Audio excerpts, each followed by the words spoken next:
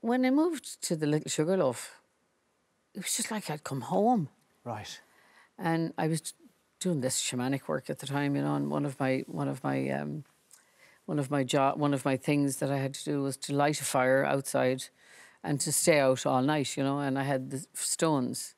It was a transformation and owning my place and naming my place and having my borders all around me, you know. And uh, So hang on now, we're not going to skip over this bit. okay, okay. Does- I, so I, I'm, so- a, I'm a medicine woman.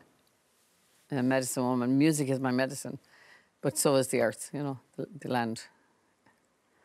now, come on, talk to me. So, So the you're a medicine woman. yeah, I did my shamanic training with um, Karen and John Schleon Cree. I did more than two years of it, and um, at that time I was moving from the life, you know, into the life that I am now. I, I'm becoming an older woman, a crone, uh, a hag, getting to like the belly, you know, a wise woman, you yeah, know. yeah. But um, there is a confidence that I've found that I've never ever had in my life.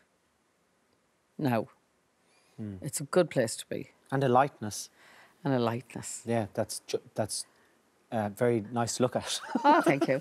Do you know that it's very you've yeah attractive lightness.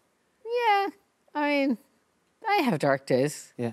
but you know, I, I know how to overcome them. You know.